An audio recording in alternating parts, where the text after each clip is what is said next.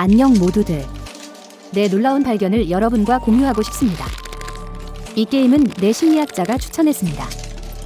스트레스를 너무 많이 받았는데 이 게임이 그 스트레스를 푸는데 도움이 되었습니다.